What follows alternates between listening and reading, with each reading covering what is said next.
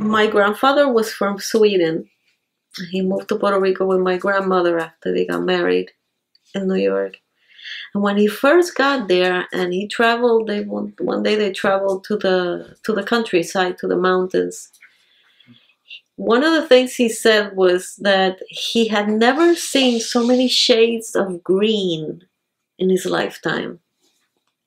He was amazed at that, and he was right. You know, when you are exposed to the, not only the, all that beauty in nature that's in Puerto Rico, the mountains, the beach, the, the colors, the color of the sky, everything, the flowers.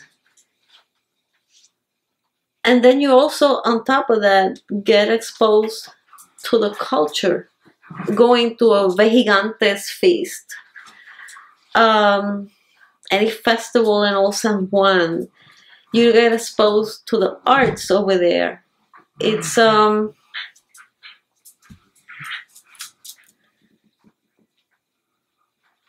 it works on you.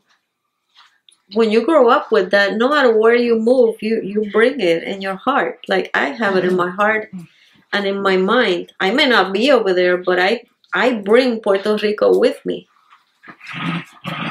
And then it reflects on my work one way or another always reflects and uh, i think that's special